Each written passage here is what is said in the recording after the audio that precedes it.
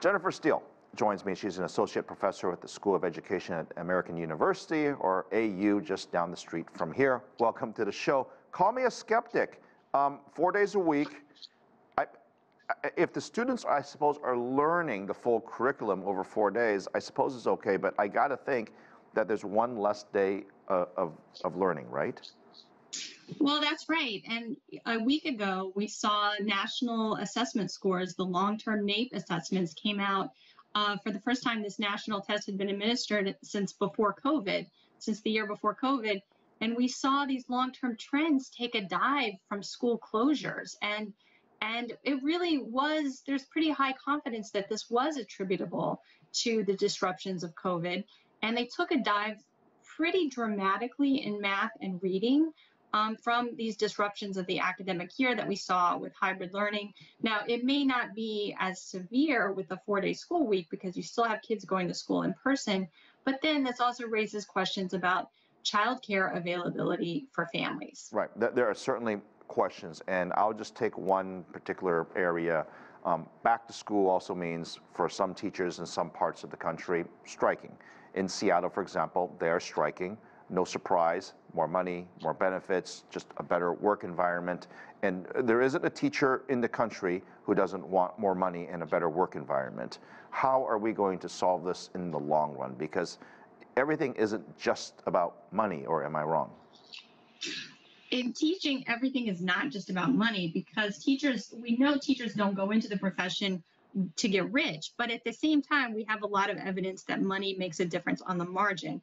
And when we do have widespread teacher shortages due to the great resignation and due to the kind of stress and pressure that was put on teachers when they didn't feel physically safe in the schools and when they were having to teach in hybrid modes that were that were uncomfortable for everyone uh, with that we did see a lot of resignations so when you have not enough teachers to fill classrooms, which is the case in some places, there are two things you can do. You can um, you can raise salaries to attract people. Well, there are actually three. You can improve working conditions, um, and you can find other financial incentives like public service loan forgiveness, which um, there's been a new extension from the Biden administration on this.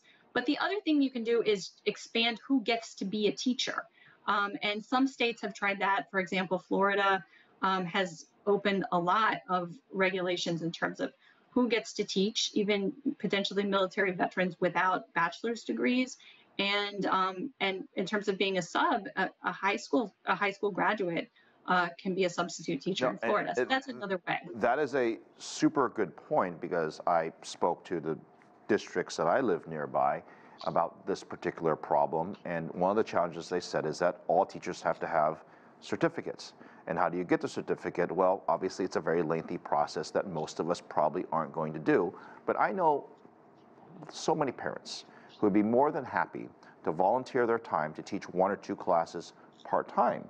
And when this came up, of course, it's against union rules, it's banned, we can't have this, and there's a thousand reasons why that can't be done.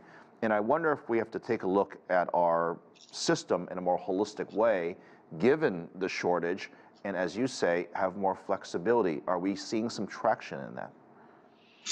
Well, I think you you see some districts that have taken an approach which is what you're talking about, Phil, a grow your own approach. So it's taking people from the community, parents, people who are connected to local communities, especially uh, non-English speaking communities, communities of color, and said, let's help folks get licensed or they've taken paraprofessionals, teacher assistants, and helped them get licensed. But there is also, there's been a long-term um, trend in terms of shortening the time it takes to get teachers prepared to be in the classroom. Some evidence suggests that some of these teachers, if they're if they come from strong academic backgrounds and they go through a rigorous short training process, they end up performing about as well. But this is it's a pretty fraught question because at the same time, teaching is a tough profession. Relationships between kids and teachers matter. It's about knowing how to teach, but it's also about sticking around, connecting with parents, and getting better over time. So we don't want to completely deprofessionalize teaching because it does drive people out and and it leads to churn that's bad for kids but we can think more flexibly about how to get caring, well prepared adults into classrooms. Yeah, I mean, the point is you're supposed to be, I guess, preparing well educated students to pass whatever test they need to or prepare them for college or technical school. Um, you know, one of the things that surprises me about this entire situation is the fact that why can't we give teachers a better work environment? I love your idea, by the way, not your idea, it's the White House, I guess, but the idea for giving government loans, providing assistance for teachers to improve their own, you know, education or their own careers, whatever that might, that might be. And these are all things that we should have done earlier on. We should be doing more of it. And I, I don't understand why there's a hesitancy to improve the lives of the people who are educating our blood children, basically, right? I mean, they're educating our children. We should do whatever it takes, like you would for a doctor or a nurse.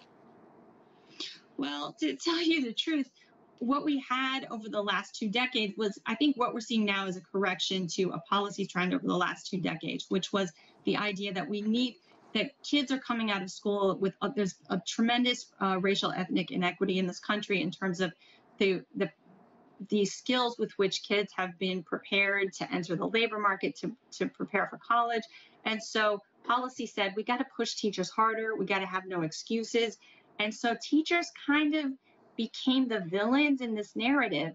And now I think we're starting to see a course correction that says, you know, teachers are, are not the problem. Teachers are working hard, they're part of the solution. We got to take care of them so they can take care of the kids. Je- and, and Jennifer- that means you need good leaders. Jennifer, you are 100% right, and I don't know who would disagree with you on this, but I hope more people listen to what you are saying. Jennifer Steele, um, I apologize, we're out of time, associate professor, American University. It's uh, fantastic to have you on. Thank you. Oh, thank you so much, Phil.